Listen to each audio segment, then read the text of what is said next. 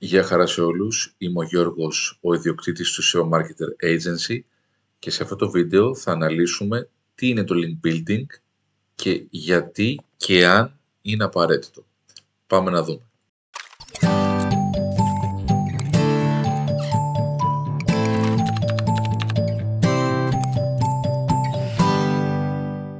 Το link building είναι η διαδικασία απόκτησης συνδέσμων, backlinks, από άλλε ιστοσελίδε προς τη δική σας.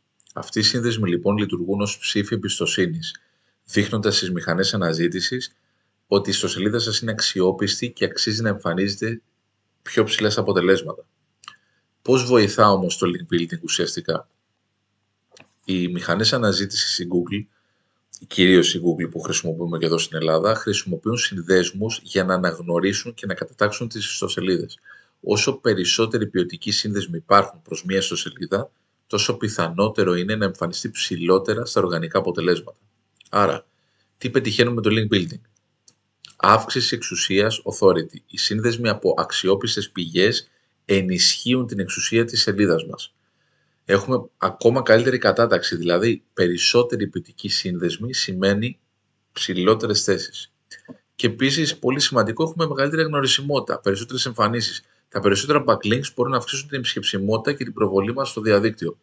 Όλα αυτά λοιπόν συνοπτικά είναι πάρα πολύ σημαντικά. Ποιοι σύνδεσμοι όμως και backlinks είναι σημαντικά; Πάμε να δούμε. Δεν είναι όλοι οι σύνδεσμοι σημαντικοί. Η ποιότητα μετράει. Οι σύνδεσμοι από αξιόπιστες ιστοσελίδες με υψηλή κατάταξη και σχετικό περιεχόμενο είναι και πιο επιθυμητοί και αυτούς πρέπει να κυνηγάμε. Σχετικότητα.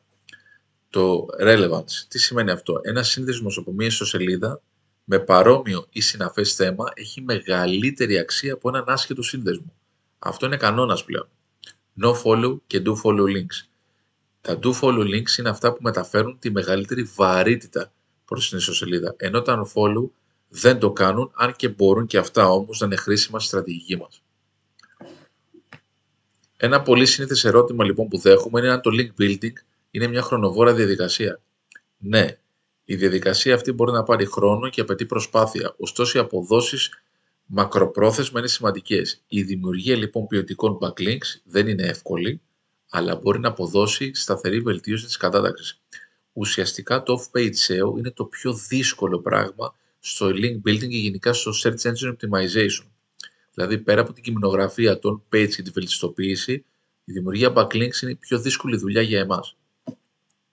Πώς αποκτάμε backlinks; Δούμε μερικούς κάποιους διαδεδομένους τρόπους. Ένας τρόπος είναι το guest blogging. Είναι συγγραφή άρθρων σε άλλες ιστοσελίδες όπου περιλαμβάνουν συνδέσμους προς τη δικιά μας. Συνεργασίες με άλλες ιστοσελίδες με bloggers για ανταλλαγή συνδέσμων, ποιοτικά και σωστά όμως. Δημοσιεύσεις στα social media, όπου εκεί συνήθως είναι πιο περισσότερο no follow, αλλά αν έχουμε καλά pages, φέρνουμε traffic στην ιστοσελίδα μας, οπότε αυτό είναι βοηθητικό. Κατάλογοι και πλατφόρμες και πολλοί ακόμη τρόποι οι οποίοι είναι μέσα στη στρατηγική που κάνουμε εμείς στο link building.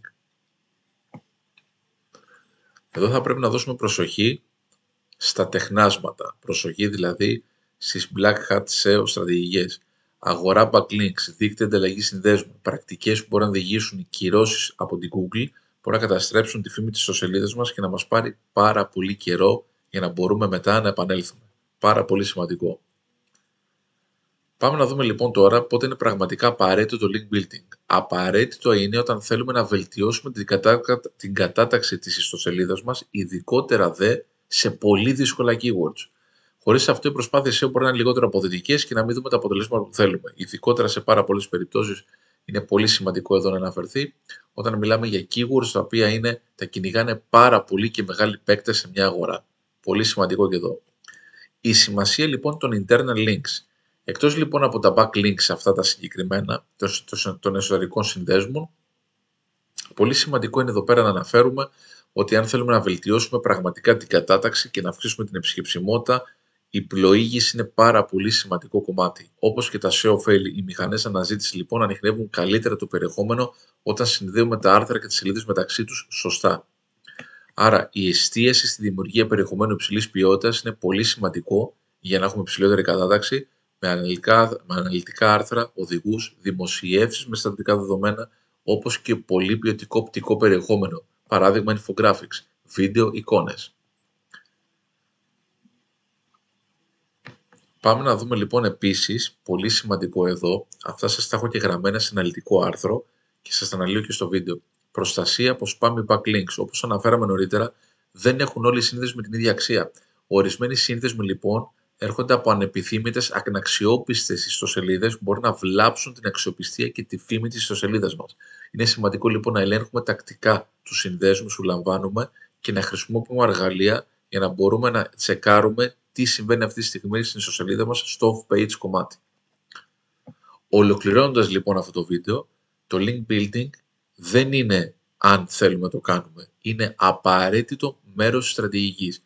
Αν λοιπόν η στρατηγική σας ή με ανθρώπους που συνεργάζεστε δεν ακολουθούν link building στρατηγικές για να αυξήσουν και την εξουσία του site αλλά και να έχετε καλύτερες κατατάξεις, τότε κάνετε μισή δουλειά και πραγματικά δεν θα δείτε τα αποτελέσματα που έχετε στο μυαλό σας αν και απαιτεί χρόνο και προσπάθεια, τα ωφέλη που προσφέρει στην ορατότητα μιας ιστοσελίδας είναι αναμφισβήτητα. Αν επιθυμείτε λοιπόν να βελτιώσετε την κατάταξη και την εψηφισμότητα, η απόκτηση ποιοτικών συνδέσμων είναι ζωτικής σημασίας. Άρα, επενδύουμε στο link building, στρατηγική, προσήλωση με μεθόδους και ποιότητα και εμπιστευόμαστε επαγγελματίες που γνωρίζουν το αντικείμενο. Να είστε όλοι καλά, μείνετε ζωνισμένοι και για τις επόμενες παρουσιάσεις πάνω στο SEO και γενικά για το digital marketing.